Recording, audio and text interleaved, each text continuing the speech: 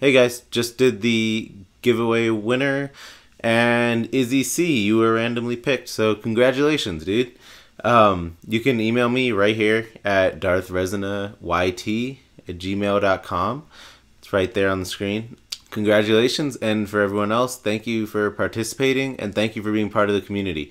Uh, we have a lot more stuff planned, so and of course there'll be another giveaway at the next milestone. But we have a lot more stuff planned, and you guys are submitting a lot of videos. Uh, I'm trying to manage it all. Yeah, it's awesome right now. As a side note, real quick, uh, onto the Rogue One review, there were like a lot of people who were saying Darth Vader stole the show, but I wouldn't really call it a show stealer.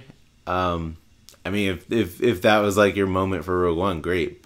I'm just saying, like, it was surprising because I was calling that he would have a show stealer, but uh, after they reshot everything and I feel like they lowered his role in it, I just the the scene that everyone was talking about, I don't think was for me. It wasn't a show stealer. It was cool, but it wasn't really a show stealer. It was made so that he wouldn't be stealing the show from the other main characters. But you know, everybody. Well, at least it's good for everybody.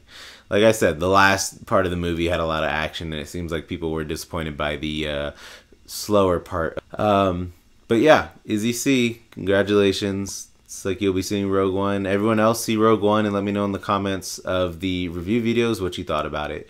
I'll see you guys next time.